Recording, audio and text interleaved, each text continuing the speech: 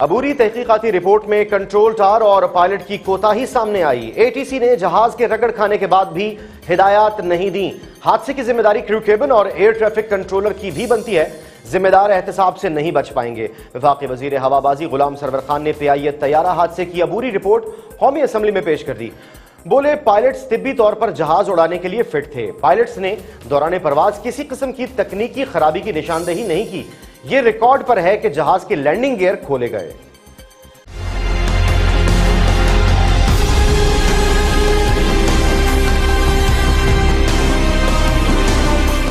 इब्तदाई रिपोर्ट के मुताबिक बदकिस्मत त्यारा फ़जाई परवाज के लिए 100 परसेंट फिट था जी दोनों पायलट, कैप्टन और मुआवन पायलट, तजर्बेकार थे।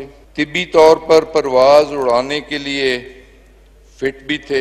पायलट ने फाइनल अप्रोच पर किसी तकनीकी खराबी की निशानदेही नहीं की, जबकि इब्तदाई तहकीकात के मुताबिक और रिकॉर्ड के मुताबिक जहाज़ उस वक्त 7,220 फुट की बुलंदी पर। कंट्रोलर ने तीन दफ़ा पायलट की तवज्जो इस जानब मबजूल करवाई कि उसकी ऊंचाई अभी भी ज़्यादा है।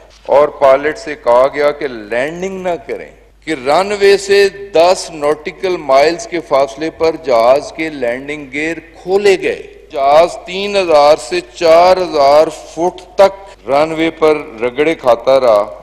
इस रगड़े खाने के बावजूद, जिसमें इंजन काफ़ी हद तक डैमेज हो गया, उसी दौरान पायलट ने दोबारा जहाज़ को उठा लिया।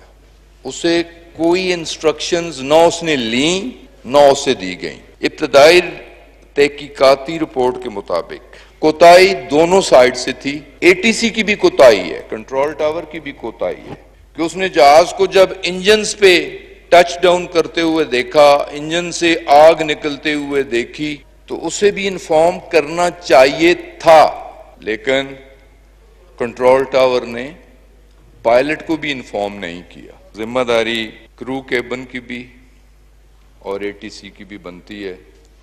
जो दुनिया से चले गए हैं अल्लाह ताला उनकी मगफरत फरमाए। लेकिन जो हयात हैं और ज़िम्मेदार हैं, वो असाब किताब से बच नहीं पाएँगे। उनके खिलाफ भी कानून के मुताबिक एक्शन होगा।